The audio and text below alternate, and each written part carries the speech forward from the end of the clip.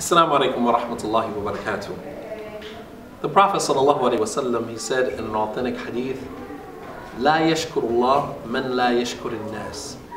He who has not thanked the people has not thanked Allah subhanahu wa ta'ala.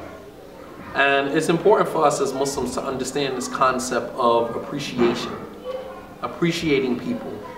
One of Allah subhanahu wa ta'ala's names is Ash-Shakur. That Allah is appreciative of any little good that we do. Allah subhanahu wa ta'ala magnifies it and multiplies it and rewards us for more than what we actually deserve for that act of good. Because Allah subhanahu wa ta'ala is Ash-Shakur. He's appreciative of any little good that we do. And the little good that we do, it is always magnified.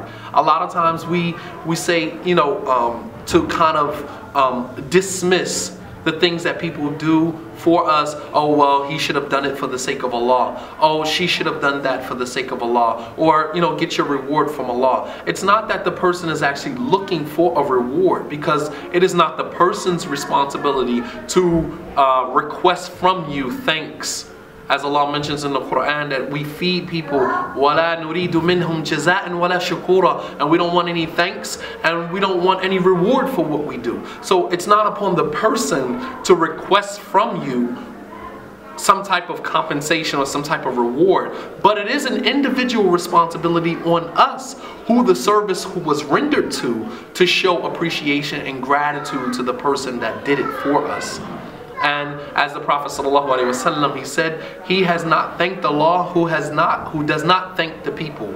And if you notice, he made a connection between thanking Allah and thanking the people because as the scholars mentioned, that if you do not thank people or are not appreciative for the things that people do for you, then most likely you are not grateful to Allah for the things that He does for you.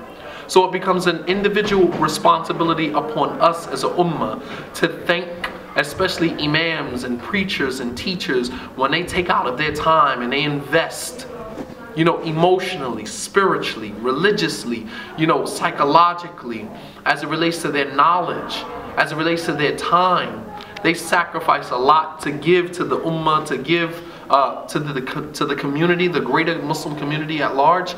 And the least thing that we can do to compensate for that is to show some appreciation and gratitude for that hard work and due diligence.